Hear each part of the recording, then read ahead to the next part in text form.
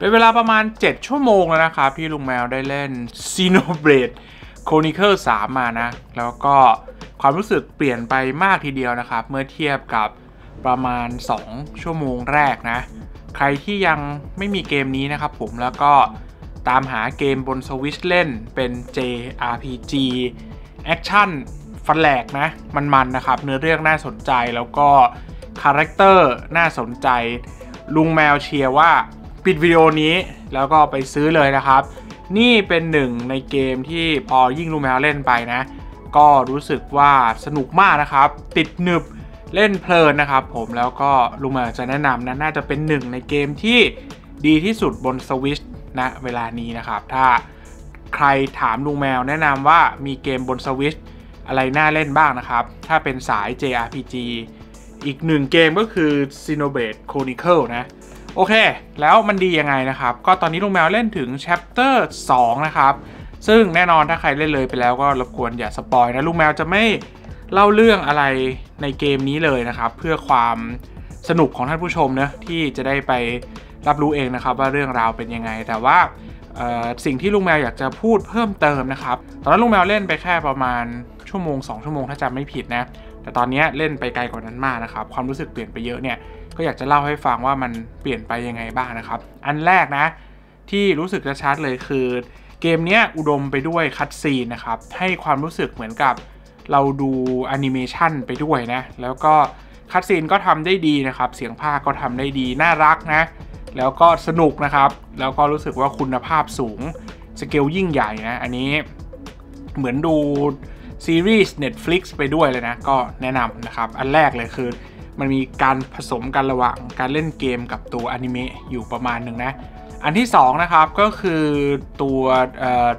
ระบบการต่อสู้นะ ที่ลุงแมวเคยเหมือนกับรีวิวสัมผัสแรกไว้นะ ว่ามันอาจจะดูน่าเบื่อไปหน่อย คล้ายๆเกมมือถือนะครับ แต่ว่าพอเราเล่นถึงประมาณ 7 ชั่วโมงอะ่ะมันจะมีอะไรเพิ่มขึ้น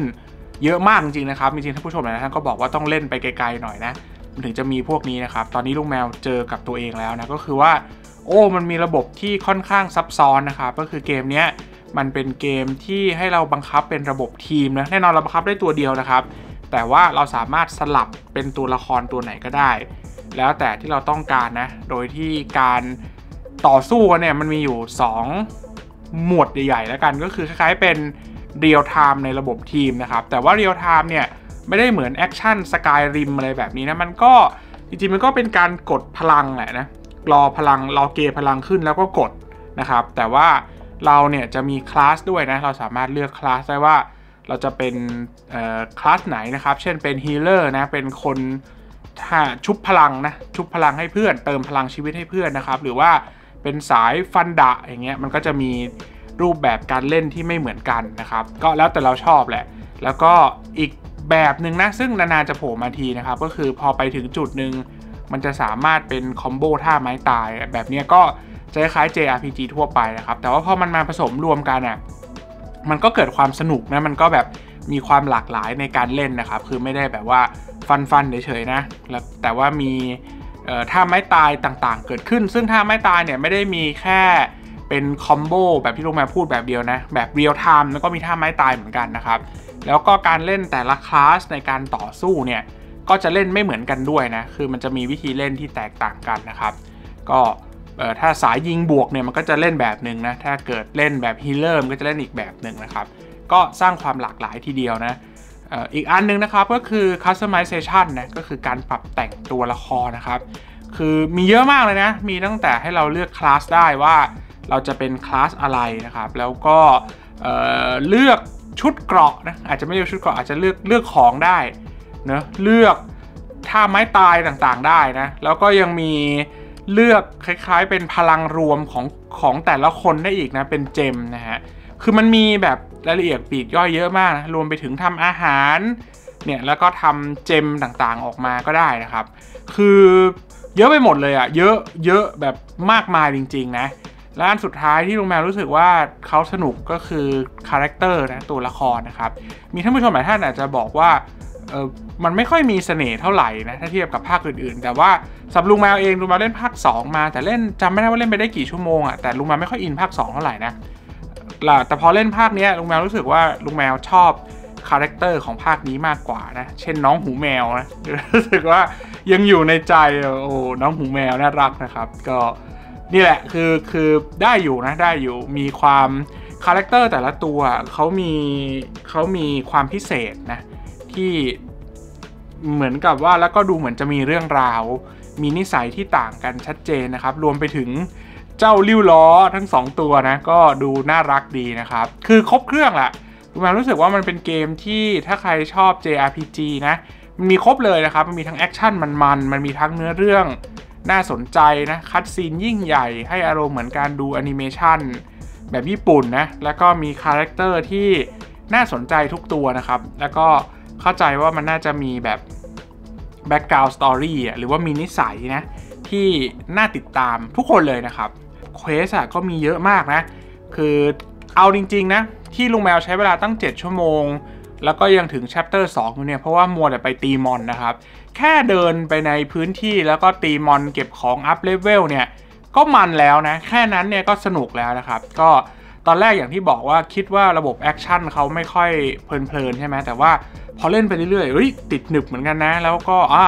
เสียงเพลงประกอบนะครับ มันทำได้ดีนะ คือมันเร่งเร้านะพอเล่น action แล้วมันมันฟินเนี่ยมันฟินนะครับ คือ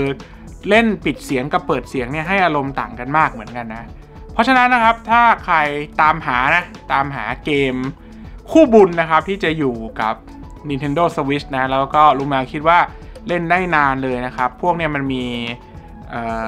โลกมันมีเสน่ห์นะแล้วก็มันเป็น RPG แบบนี้ลุงมวคิดว่ามันมี replayability นะครับ มีความสามารถเนาะในการที่เราจะ กลับมาเล่นซ้ำๆได้อีก ก็คิดว่าคุ้มแน่ๆนะครับ แล้วสำหรับลุงแมวเองเนี่ยเป็นหนึ่งในเกมที่ดูดเข้าไปเหมือนกันนะครับ อินสุดๆนะชอบเลยชอบเลยนะครับก็เพราะฉะนั้นก็อย่างที่ว่านะถ้าใครสนใจนะครับลุงแมวแนะนำนะ Xenoblade Chronicles ต้องมี S ด้วยใช่ไหม3นะครับ แนะนำเชียร์สุดๆนะครับ สนุกมากานผู้ชมได้แล้วเป็นยังไงบ้างนะครับ enjoy กันหรือเปล่านะ คิดยังไงก็แบ่งปันความเห็นกันมาได้นะครับ แต่ว่าขออย่าพูดถึงเนื้อเรื่องขออย่าสปอยอย่างที่บอกไปแล้วนะก็คือว่าลุงแมวยังเล่นไม่ถึงไหนเลยอย่าได้โปรดอย่าสปอยลุงแมวลุงแมวอยากจะมีความสุขต่อไปโอเค ก็ในเดือนนี้ยังมีเกมอีก 2 เกมที่ลุงแมวลุงวะลุงแมว เล็งไว้นะก็คือ Splatoon 3 นะครับ ซึ่งจริงๆ Splatoon กับลุงแมวเนี่ยไม่ค่อยอินมากเท่าไหร่นะ แล้วก็สเปซทูนเขาเหมือนกับอาจจะไม่ได้เน้นแบบการยิงกันเท่าไหร่ใช่ไหมเน้น คือมันเป็นอีกแบบหนึ่งอะแล้วมันมันมีการเรียนรู้อะไรประมาณหนึ่งอันนี้ยังยังตัดสินใจไม่ได้ว่าจะซื้อดีไหมนะครับภาค 3 แต่ว่าที่น่าเล่นมาก ๆ นะก็คือเอ่อ DioField หรือ DioField นี่ไม่แน่ใจนะครับ เป็น turn based น่าเล่นมากนะ อันนี้คงจัดแน่นอนนะครับ ของ Square Enix อืมก็ประมาณนี้ แล้วก็แน่นอนในระยะยาวนะ รอแล้วรออีกนะครับ ก็คือ Persona นี่ลุงแมวจัดครบ 3 ภาคแน่นอน 3 4 5 นะครับโปเกมอนใช่ไหม